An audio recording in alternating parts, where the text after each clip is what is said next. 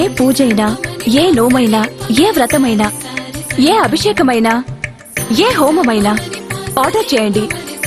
అందుకు అవసరమైన పూజా సామాగ్రిని డోర్ డెలివరీగా పొందండి. ఈ రోజే మీ పూజా సామాగ్రి కొరకు ఈ పూజా స్టోర్ డాట్ ఇన్లో లాగిన్ అవ్వండి.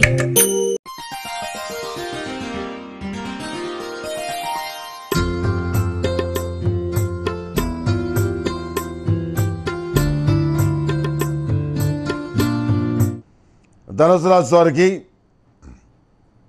వ్యవసాయ సంబంధమైన విషయాల్లో అనుకున్న స్థాయిలో ప్రయోజనాలు రాకపోవటం ఇబ్బందికరంగా మారుతుంది.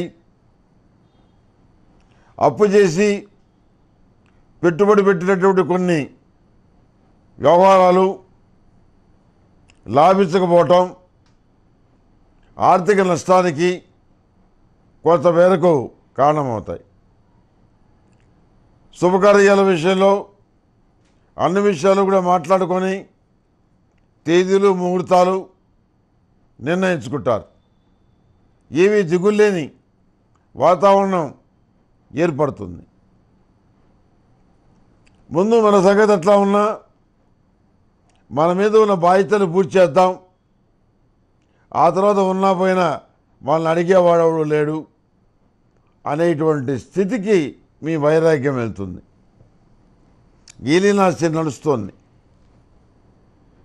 ఎనిమిది శనివారాలు శరికి తైలాభిషేకం చేయించి ఒకటిన్నర కేజీ నల్ల నువ్వులు దానంగా ఇవ్వండి.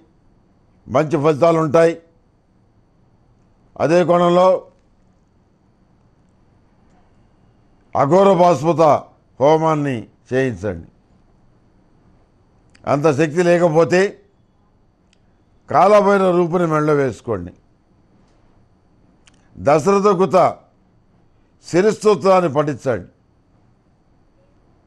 మానసికమైనటువంటి ధైర్యాన్ని ఉత్సాహాన్ని జీవిత భాగస్వామి నూరిపోస్తుంది.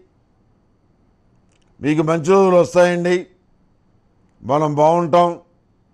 మీరు దిగులు పడద్దు అని చెప్పడం మీ మానసిక ఉత్సాహానికి కారణమవుతుంది. మోకాళ్ళ నొప్పులు వెన్ను నొప్పి బాధించే అవకాశం ఉంది. అదేవిధంగా పోటీ పరీక్షల్లో పాల్గొని విజయవంతమైన ఫలితాలు సాధించి ఉద్యోగం సంపాదించడం మానసికమైన సంతోషానికి కారణమవుతుంది. ప్రతి విషయంలోనూ ప్రతి కోణంలోనూ మిమ్మల్ని విమర్శించేవాళ్ళు కూడాను మిమ్మల్ని ప్రశంసిస్తారు. చాలామందికి ఆదర్శంగా ఉంటారు.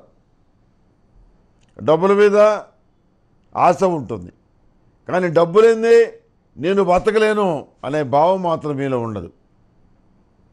వస్తాయి ఖర్చు పెడతాం.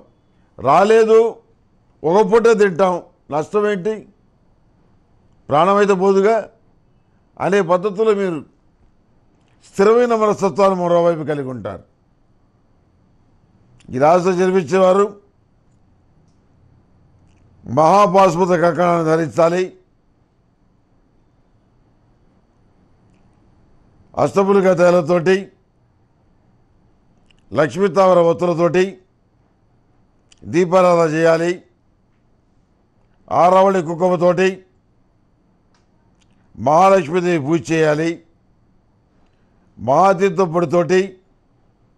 మీ ఇష్టమైన దేవతకి మీకు ఇష్టమైన దేవుడికి అభిషేకం చేసి ఆ తీర్థం తీసుకుంటే చాలా చాలా మంచిది. తదుపరి మకర రాశి.